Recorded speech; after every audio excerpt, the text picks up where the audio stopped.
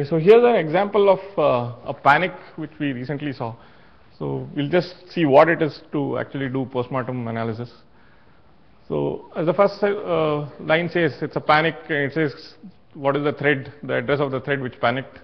So what kind of a panic is it? It's a bad trap. So what do we mean by a bad trap? Basically, we are trying to access a memory location which is an invalid uh, memory address. So we're trying to load from a memory address which is not at all mapped. So that results in a bad trap. So basically, we get a MMU miss exception.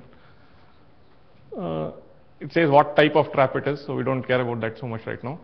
We have this uh, register pointer. So that's a area of kernel memory which contains the registers which were there at the time of the panic. And then what is the faulting address? So then we go ahead look at what the panic stack is. So we take the thread address, do a find stack on it. We see that okay, it's called, it's uh, using the, it's in the CPC module, which is the uh, CPU performance counters module. Okay, so we then want to take a look at the instruction which caused the bat, bad trap. So we take the register pointer, we dump the registers. So you have uh, RPC, which is the actual program counter value which caused the system to go down. So we look at what that instruction is. It's a LD stub instruction, which is load and store one byte.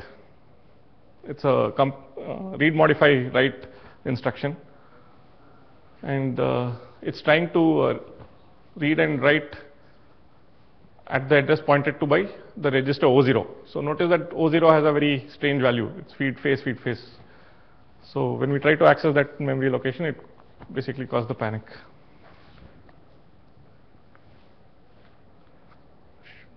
down arrow, right? Okay. So now we look at what the C code corresponding to that particular uh, stack is. So it's basically the KCPC bind thread is a function in the kernel, and we have a mut mutex enter call in that particular function. So we are passing the address of the mutex. So it hap the uh, mutex is actually part of the uh, one of the data structures which is hanging off the thread.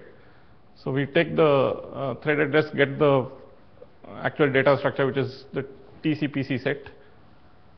Then we print the uh, TCPC set. We see that uh, the mutex is at an offset 0x28. Okay, so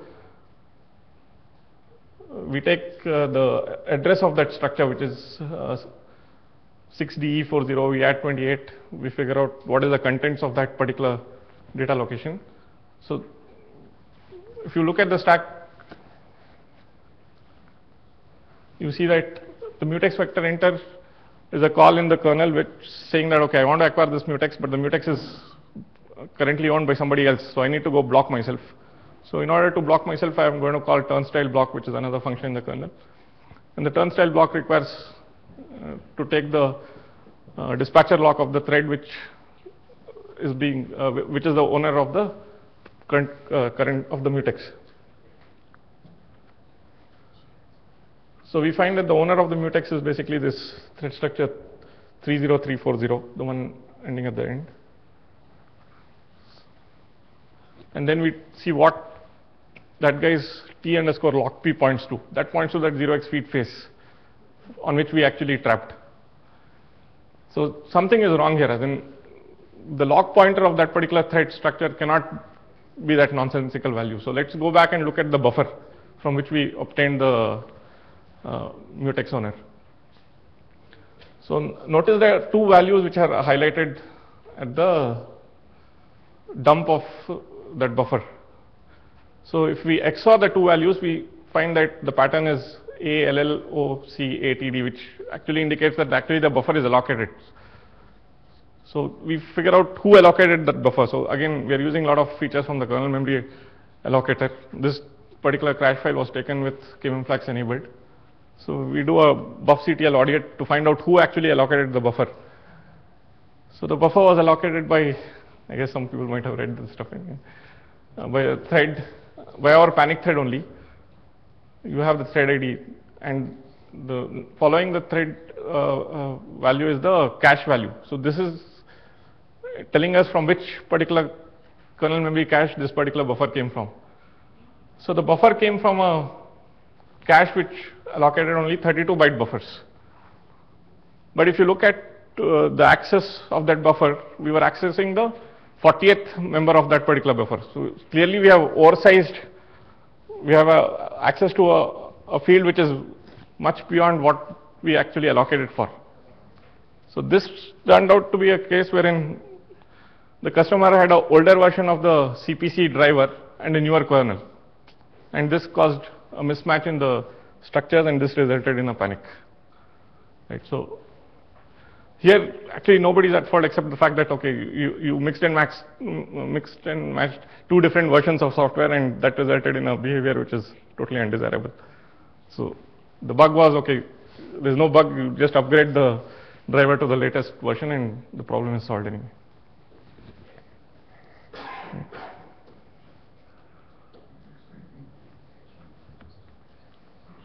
Okay, so going on to live debugging. Uh, till now we saw post-mortem debug, so we have a crash file, we need to figure out what has happened. Live debugging is that way better in the sense we have a lot better tools.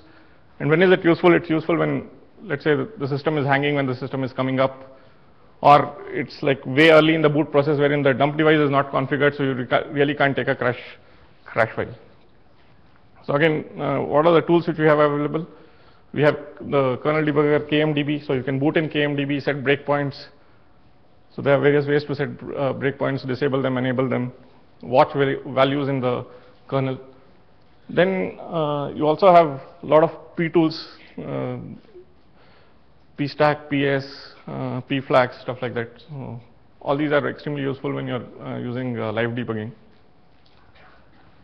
And of course, uh, truss and the numerous options it has are, I think people can spend a good amount of time reading that man page and still not figure out how to use truss well enough. Okay, so uh, dtrace, Brendan Gregg is going to give a presentation on dtrace two, two days from now, so I'm not going to spend much time about it except say that ever since this tool has come into existence, I think uh, uh, my job and a lot of support engineer job has become much, much easier because we, we can now ask questions, get real-time answers uh, from the systems as such and figure out where the problem could be. So the things which we find useful are the fact that you can trace every kernel function entry and return. So you can put probes wherever you want all through the kernel and uh, okay, lots of times the stacks which are leading to those kernel functions itself is a big eye opener. So you wouldn't have thought, okay, this code could have got called in this way. So that itself is a big deal uh, a lot of times. And the, okay, a brief introduction. D, uh, dtrace gives you the D language, which allows you to uh, write uh, various actions, and you can predicate on certain variables being true and stuff like that. It gives you a lot of powerful data management primitives like aggregations and quantizing, quantization you have multiple providers. You have providers for every uh, important kernel subsystem like the scheduler, the proc, the I/O. So you can ask things. You can get information like okay, which thread was on CPU, whom did it give the CPU to when it did a context switch to, uh, for what reason is it blocking? What is the stack which leads to that particular thread blocking? Every system call uh, is a probe point, so you can figure out what system calls are being done throughout the system, which system calls are failing throughout the system, something which Truss cannot do because Truss works on a particular process. So here you can work on a systemic basis and figure out, okay, what are the things which are failing on the system. You have various different consumers. The most common one is dtrace. Lockstat has been rewritten to be a dtrace consumer. You can get interrupt statistics, what interrupts are coming on what CPUs. Then of course you have anonymous tracing, so you enable some uh, D scripts on the system and then you know that the system would panic. So you want the state of the system leading to the panic. So which is when you uh, use anonymous tracing. Or when the system is booting up and uh, you don't have any terminal associated, so that time you use anonymous tracing and you log all the uh, tracing information in, in kernel buffers and then you have mdbd commands to extract those uh, information. Okay.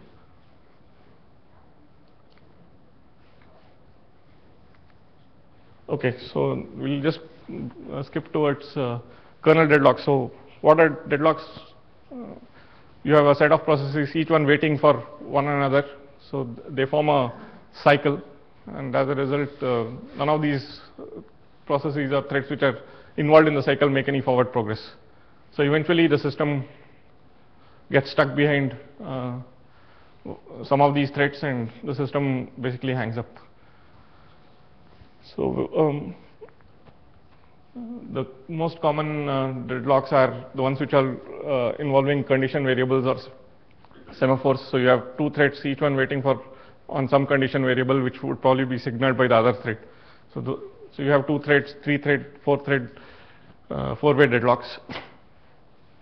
Then you have deadlocks due to uh, memory, uh, basically resource crunch, physical memory ex exhaustion, or your counting semaphore is undersized. So you said my counting semaphore, I have initialized it to 15. That means I can maximum do 15 sema-Ps and then hopefully one of those guys will do a sema-V and then the, uh, the system would progress. But then that 15 turned out to be very small because for whatever reason. So you need to end up increasing that or maybe use some other uh, synchronization primitive to overcome those problems. Then you have other miscellaneous deadlocks which are like between the file system and the virtual memory uh, interaction. You have self deadlocks. So this thread took a, took a particular mutex or a read write enter, did some various activities and comes back and wants to take the same mutex read write enter lock. So it, it's basically wanting to take a lock which it itself has to release before this is, uh, it can make pro uh, forward progress.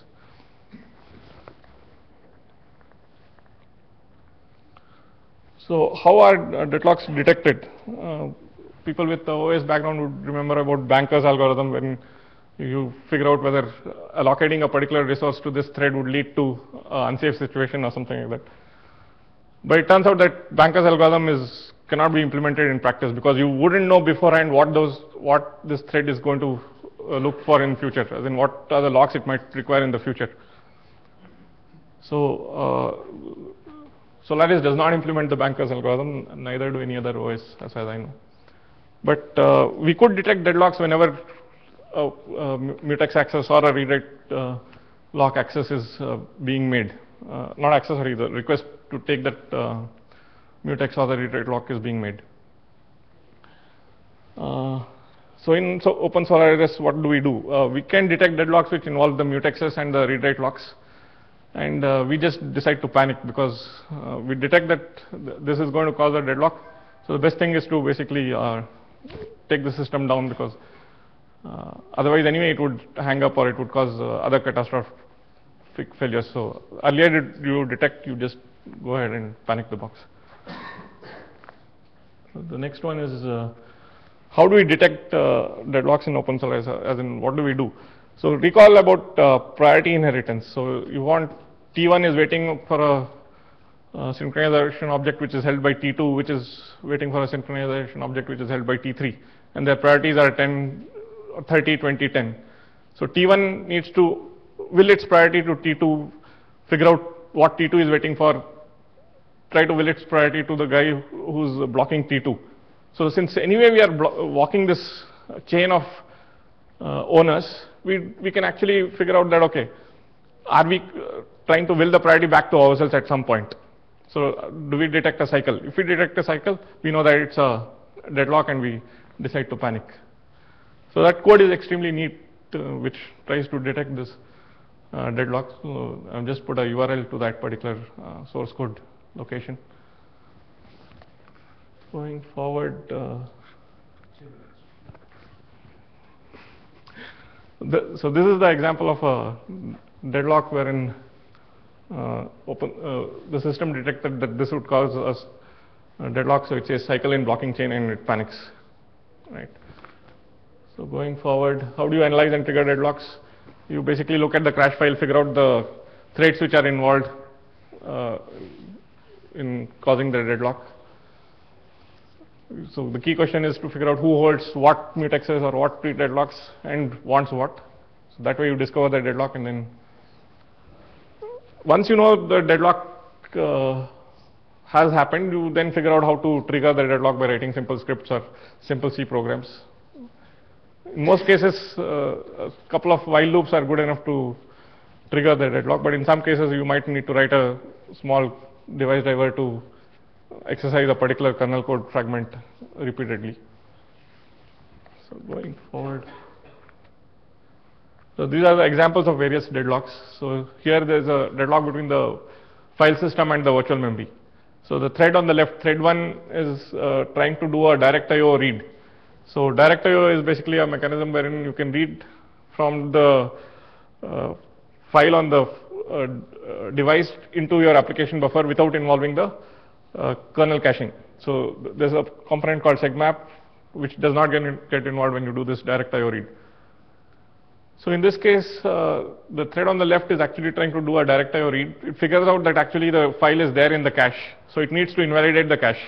So to invalidate the cache, it needs to take the page locks on each of the pages in the of that file which is there in memory.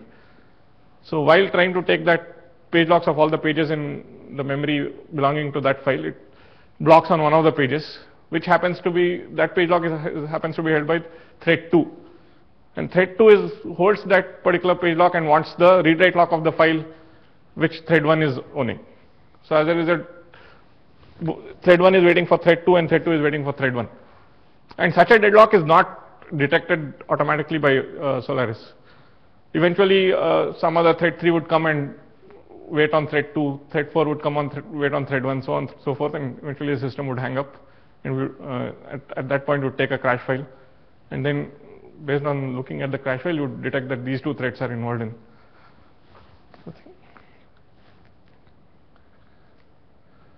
Okay, so th this is another interesting deadlock involving AutoFS and DevFS. In fact, this was hit maybe a couple of months by a couple of customers. So it turns out that uh, most people don't have a slash misc in their root file system, right? Nobody would generally create, but this customer had created a slash misc in his root file system, and on top of it, he had made slash misc a AutoFS mount point. And when he had that, uh, with, such a configuration, at some point, uh, th there was a process which was doing find slash devices pseudo on the system and uh, you had automountd which was trying to open slash dev slash udp which actually points to slash devices slash pseudo uh, uh, one of the modules there. So automountd is waiting for a read write lock which is held by the find thread. The find thread is trying to do a mod load of a particular uh, kernel module and, and so that find thread T2 has triggered T3 to actually load the mod module and T3 is a system thread which is in the process of trying to read slash misc slash sparcv9 RSM ops, which is the kernel module which it wants to load. And it tries to contact the AutoFS daemon. So since the AutoFS daemon is stuck, you have uh, T1 waiting for T2, T2 waiting for T3, and T3 waiting for T1. So it's a three-way deadlock. So the workaround here was simple. Basically, uh, don't make slash misc your mount F, uh, uh your AutoFS mount point. Right. So the, these are deadlocks which probably you wouldn't figure out from the source code at all. It's only triggered on a particular customer system with his unique configuration. Uh, anyway, we, we, did fix this in uh, Solaris, so you can still have slash misc as your AutoFS mount point if you care to. Okay, so this is another uh, deadlock which is in, involving uh, uh, the kernel cage out. So I'll just keep the, because I'm running out of time really. Uh, this was a deadlock sit, uh, seen on uh, Open Solaris systems when trying to boot guest guest Open Solaris 2009-06 as a guest on a Zen Xen system. So again a three-way deadlock: T1 waiting for T2, T2 waiting for T3, and T3 waiting for T1. So how do you solve deadlocks? In most cases, you can define the lock order and say, look, uh, this is the uh, order in which these locks have to be taken. But a lot of times it turns out that you actually can't enforce that rule uh, of lock ordering. You might still need to have cases wherein you need to take the locks in a reverse order. So in which case uh, you, you are liable to uh, be vulnerable for these uh, deadlock problems. So one way to solve them is uh, instead of doing a blocking call, you do a try enter. Okay, can I try for this mutex and if it is free, uh, you get ownership of that mutex or the read write lock. Otherwise, you release whatever locks you're holding and try the uh, uh, locking sequence again. But this can lead to live locks wherein a couple of CPUs are busy doing the same thing, each one expecting the other to release and so you just changed the problem from a deadlock to a live lock, where instead of everything hanging, everything running, but no progress being made on the system. So, okay, what are race conditions? Races are basically two threads trying to access the same memory. At least one is writing, the other is reading. The outcome of the race is dependent on the sequence of access to the uh, memory locations. Again, races can be uh, catastrophic. They can cause system hangs, panics. Sometimes can lead to data corruption. We had a race in the UFS uh, code which led to uh, data corruption. They're extremely hard to reproduce. They occur under extreme load conditions, typically seen only on customer systems, very hard to reproduce on uh, our labs. But once you know uh, what the race is, then you have figured out the code fragments, again, you exercise uh, some test code to uh, pound hard on the code fragments in question and then uh, shake out these bugs. The key point with races is the interleaved execution of the thread. So programmers generally think that, okay, this is the sequence of operations, this is the sequence of operations. They forget about the fact that these sequence of operations can be happening in parallel on multi-CPU machines. And the order and the interleaving of these sequences of executions generally uh, trigger these races. So uh, again, uh, you need to have good uh, analytical skills to figure out the races. Sorry, okay. I really do have to. Okay. I think what else? Thank you very much. Okay. Um, one thing that I'm not sure whether you've got it on your references page is all the source for all this low-level stuff about scheduling is actually available on opensolaris.org um, for at least OpenSolaris and at kernel.org for Linux and FreeBSD.org, etc., etc. Um, so if you are at all interested in this and you, or you think you've come across an instance of something like this, go and look at the source um, and ask lots of questions. right. Uh, so we're Okay. going to have uh, break for lunch. Uh, lunch is just outside where morning tea was. Um, we have a little bit of a sort of a demo room with some uh, some kits and some sun rays and some virtual machines running. Uh, also just showing off some of what we make. Um, and we've got